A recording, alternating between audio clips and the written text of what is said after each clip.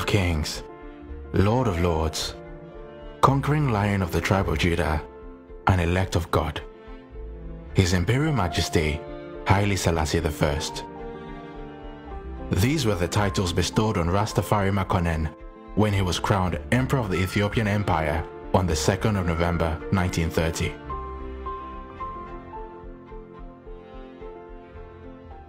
As leader of a civilization that had lasted for over 3,000 years, the new emperor would now be seen by millions around the world as a universal symbol of African pride and sovereignty at a time when virtually all indigenous African kingdoms had fallen under European subjugation.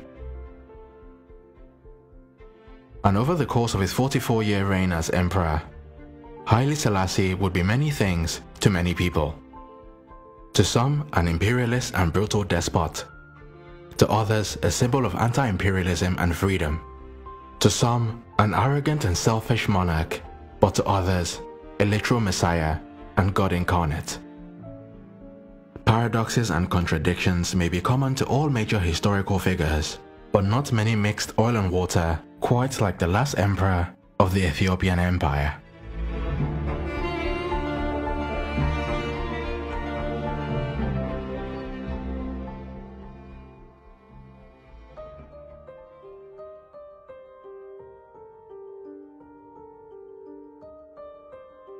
There is a well-known Ethiopian folktale which tells of how Tafari's father, Ras Makonnen, governor of the Ethiopian province of Harar, was visited one day by a hermit who came to deliver a prophecy.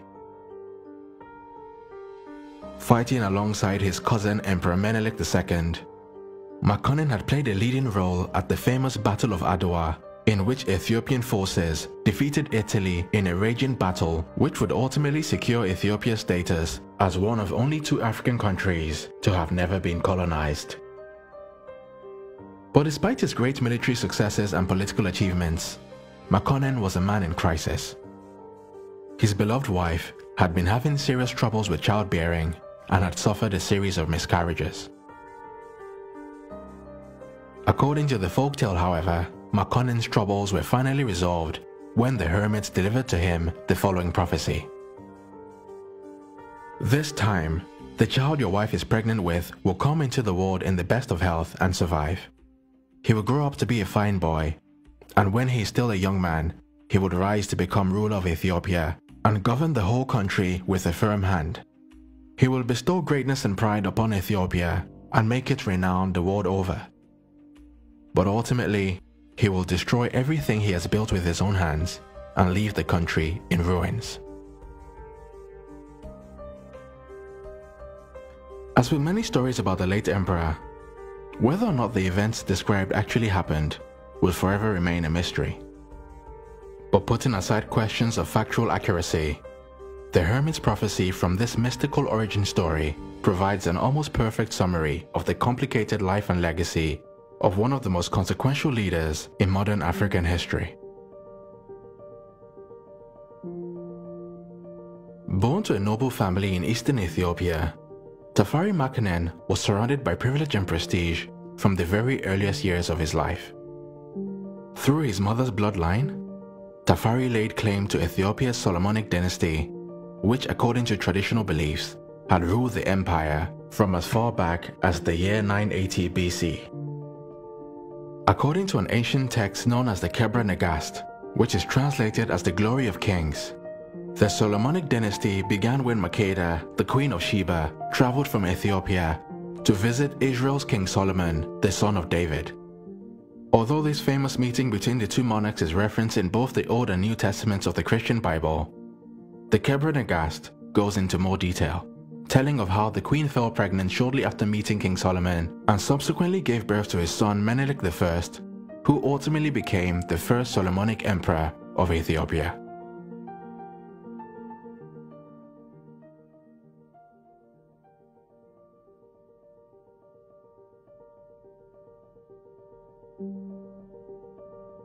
His privileged upbringing and noble blood notwithstanding, Tafari Makonnen's childhood was not necessarily an easy one.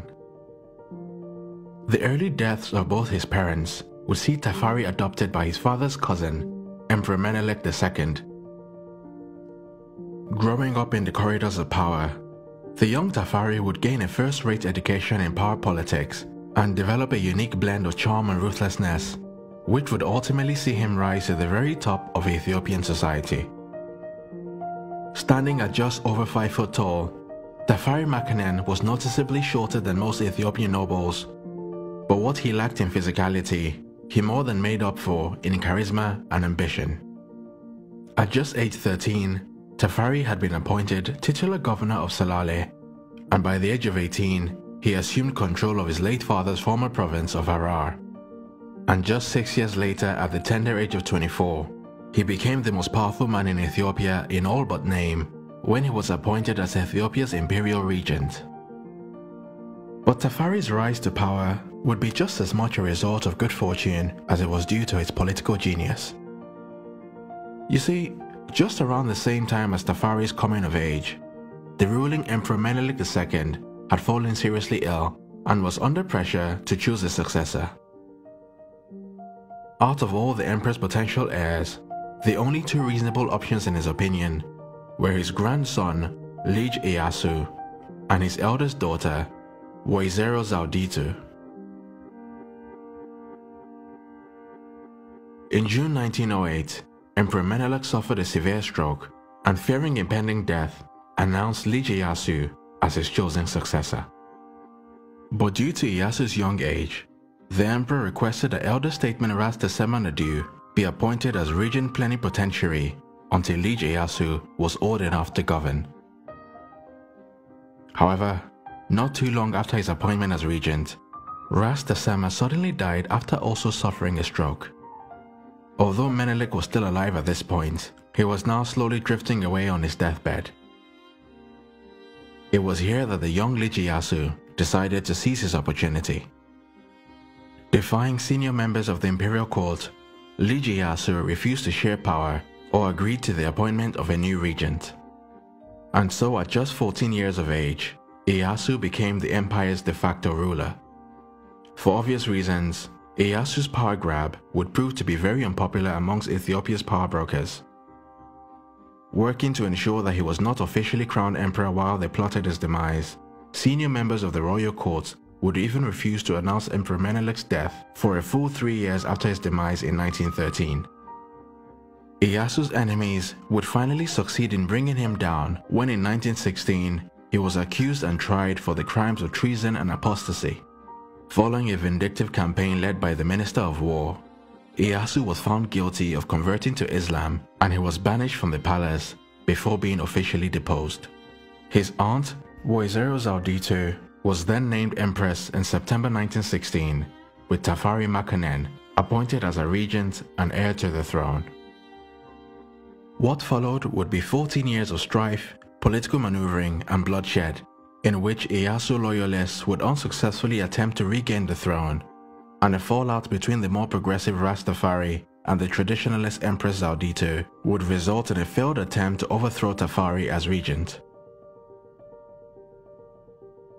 But after all was said and done and the dust settled, Tafari Makonnen ultimately emerged victorious.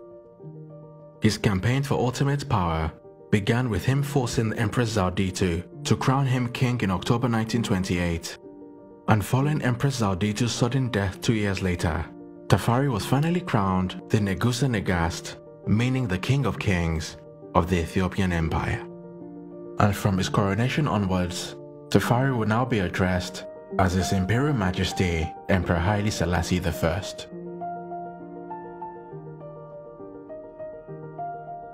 But unbeknown to the newly crowned emperor, news of his coronation would quickly see him become the central figure of a new religion birthed on a land far, far away from the boundaries of his kingdom.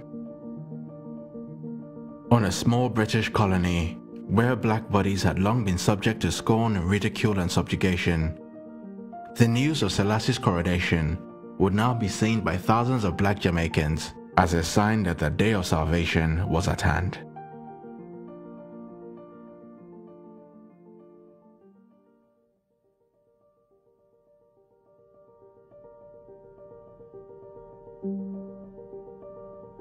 With a Bible in one hand and in the other, a copy of the iconic June 1931 issue of National Geographic magazine.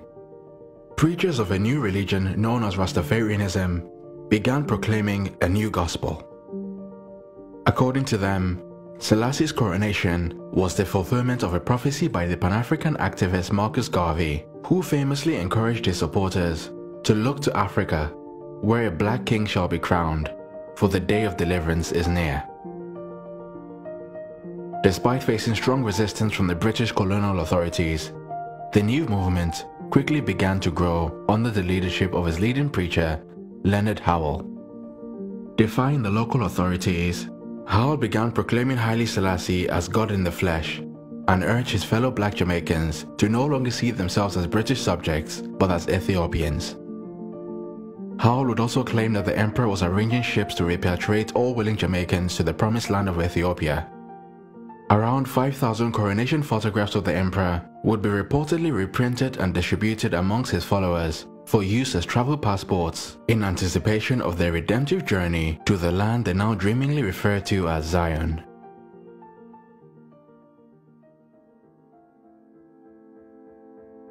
But in sharp contrast to the Rastafarian vision of Ethiopia as an African paradise governed by a benevolent African messiah, the daily life of the average Ethiopian living under Emperor Haile Selassie's rule was hardly enviable. Despite its rich history and status as one of the oldest Christian civilizations in the world, Selassie's Ethiopia was far behind its European and Asian peers in terms of technological and economic progress. Like most ancient monarchies, Ethiopia under Haile Selassie's rule was essentially a feudal society in which an elite minority composed of monarchs, noblemen, and clergy exerted almost absolute dominance over a large peasant population who were kept in line through a combination of force and tradition. Despite several attempts to ban the practice, slavery was still common in many parts of the country, with an estimated 2 million people believed to have been in some form of forced servitude as at the time of Haile Selassie's coronation in 1930. Social mobility was more or less non-existent, and with the exception of the country's capital of Addis Ababa, modern innovations like electricity, road networks, and telephone lines were virtually unheard of. But perhaps the most pervasive of all of Ethiopia's structural issues was the way in which the concentration of all power and wealth in the hands of its noble families basically meant that the never-ending dramas and eternal squabbles between the empire's numerous princes, noblemen, and clergy often had very severe ramifications on the day-to-day -day life of the average Ethiopian subject. Although the generally low standard of living of the vast majority of Ethiopians living under Selassie's rule did not negatively affect the growth of the Rastafarian movement, the biggest test of faith for his most ardent believers would come in the year 1935 when Selassie would be forced to flee his kingdom following a violent invasion by the fascist Italian dictator Benito Mussolini.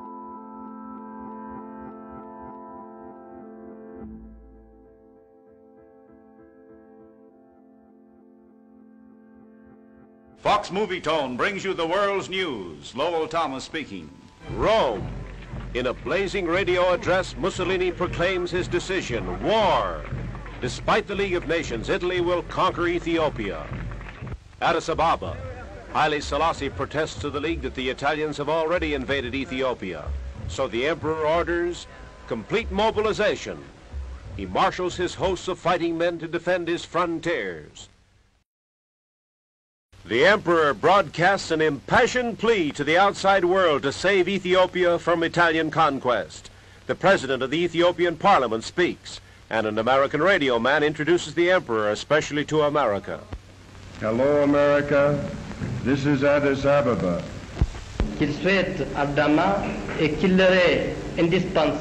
He defends his country's cause, calls upon the world to stop the war, and declares that Ethiopia is firmly for peace. Le peuple éthiopien est, ferme, est fermement attaché à la paix, mais il est en même temps... A nation praying for peace but ready to fight to the last. Rome deciding war. The League of Nations preparing to impose penalties. The clash of arms, the thunders of battle seem more terrifying, as at the radio station of Addis Ababa, the Emperor Haile Selassie pleads for peace.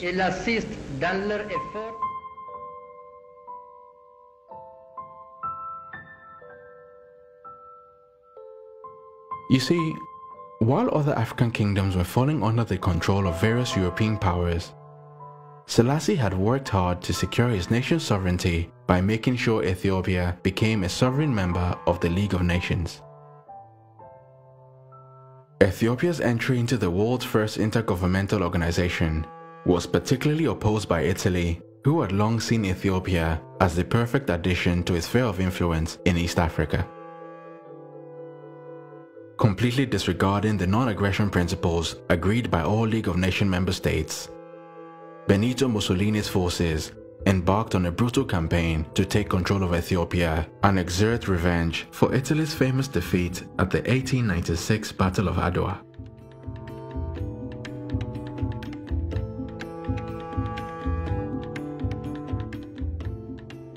Despite giving an iconic speech in June 1936 at the League of Nations Geneva headquarters, in which he admonished member states for their idleness in the face of Mussolini's aggression, Selassie would be ultimately forced to flee his country when it became clear that there was no stopping the Italian advance. Just five years after his glorious coronation, Ethiopia's King of Kings had found himself under the protection of the British Crown in the small English city of Bath where he was forced to take refuge.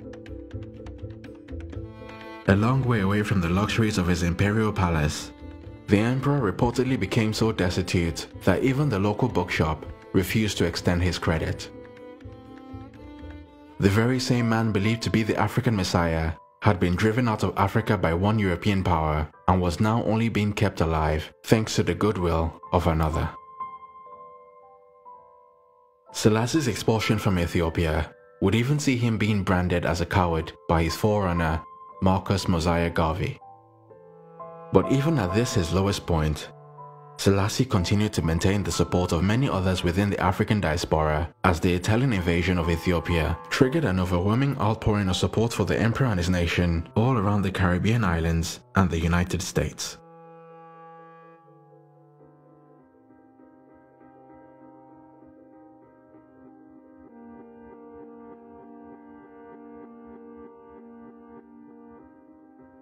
Salvation eventually came in 1941 when the Italians were driven out of Ethiopia by British forces fighting alongside members of the Ethiopian resistance during the Allied powers' World War II East Africa campaign.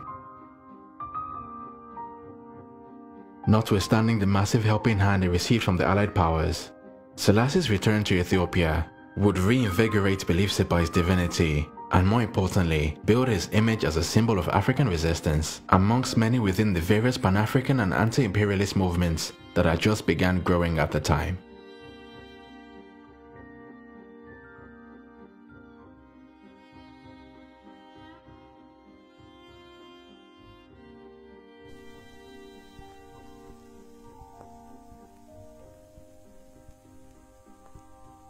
It is good that you are here record this picture of me in my palace garden at Addis Ababa.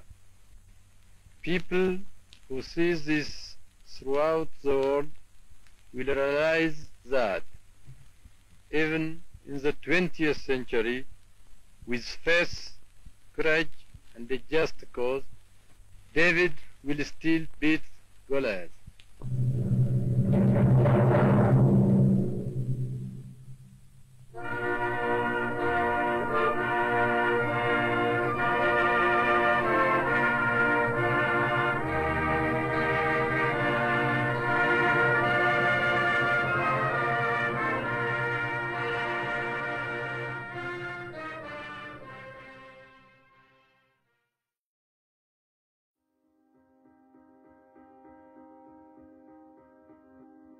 Taking full advantage of his increased popularity in the years that followed his return, Haile Selassie began working to continue the great modernization drive which had begun under the reign of Emperor Menelik II. In addition to general improvements to the country's legal system, most notably in